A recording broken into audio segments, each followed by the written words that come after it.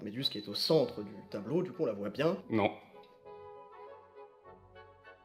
Cette œuvre, intitulée Le radeau de la Méduse, a été réalisée par Géricault en 1819. Ce radeau est en chêne. Mais pas n'importe quelle chaîne, car il existe 460. c'est vrai C'est vrai.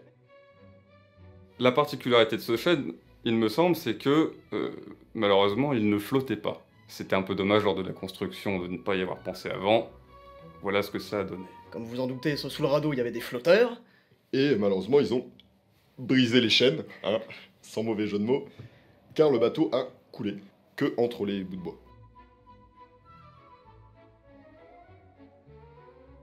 Alors, ce qui est assez euh, marrant, c'est quand même qu'ils se sont échoués euh, en plein milieu d'un lac. hein. Le rivage était quand même à 15 mètres. Vous allez me dire pourquoi Bah dites-le moi. Pourquoi Bon, merci.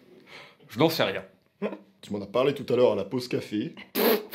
J'ai oublié. Ils ont vu euh, au fond de la mer la dernière Nintendo Switch disponible dans la région.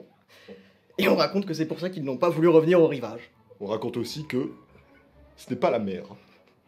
C'est le lac de Biscarros. C'est-à-dire qu'on peut poser son bateau, on peut le louer.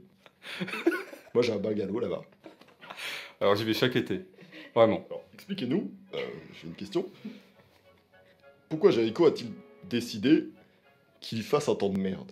Il nous emmerde quand même avec son temps. Petit ciel bleu, ça coûtait pas grand-chose, un petit coup de pinceau bleu dans le ciel. là. Réponds à ça, trou du cul. Il l'avait euh, il l'avait appelé Il n'y a plus de saison. C'était le premier titre euh, de ce tableau. Je crois même qu'il faisait orage. Ça se voit au cumulus un peu noir qu'on peut voir dans le ciel.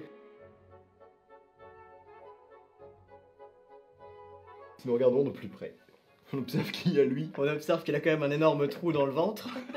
Ce qui, doit- ce qui ne doit pas être très agréable dans tous les cas. Ah, Et que la plupart de ces gens sont nus. et se touche. Regarde. Voilà.